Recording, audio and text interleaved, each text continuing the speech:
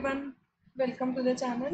So here we are discussing the problem unit array on code forces. So the question states that given array is of length n which elements are equal to minus 1 and plus 1. Let's call a good if the following conditions are held at the same time. a1 plus a2 till an is greater than equal to 0 and the multiplication of all the elements equal to 1. So for this we can assign any AI to 1 or minus 1 depending on the previous value. Means if AI is minus 1 then we will assign it to 1. If it is 1 we can assign it to minus 1 and so on. So these are the operations which we can do and we need to determine the minimum number of operations needed to perform to make array a good. Let's look at these test cases. First one is 4 which are minus 1 minus 1 1 minus 1. So simply we can turn it into 1 minus 1 1 minus 1 so you can see the sum will be 0 which is greater than equal to 0 and the product will also be equal to 1 so this is very easy to guess how to do it.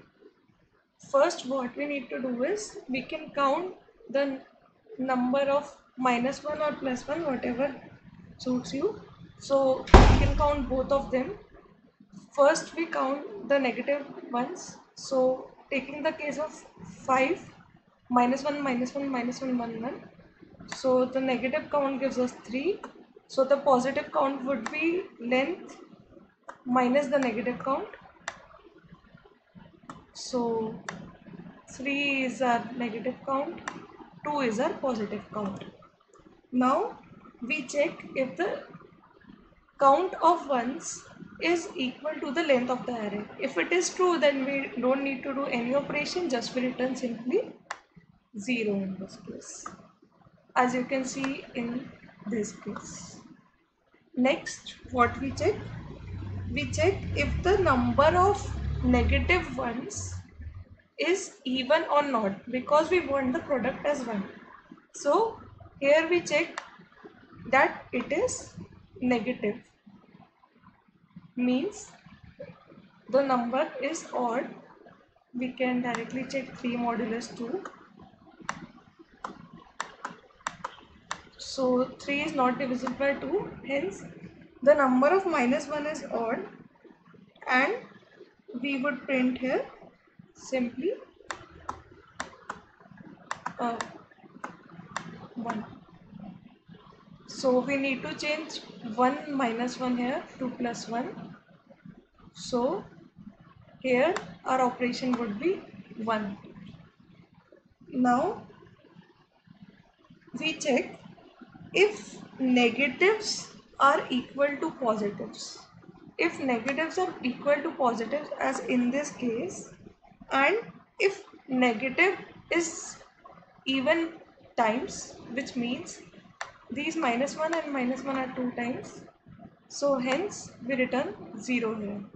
We don't need to do anything.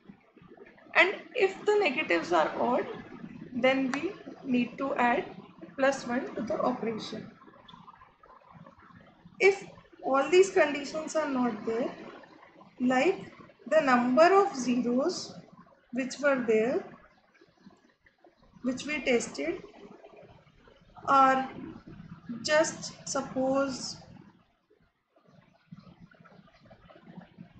suppose we don't have any of these conditions then what we do is we calculate the half length which would be just n by 2 and after calculating the half length we would do the negative numbers minus the half length. And then just simply check if the half length is even or odd. If the half length is suppose odd then what we do? When we do 0 minus half length we add in this quantity plus 1 and we return the answer.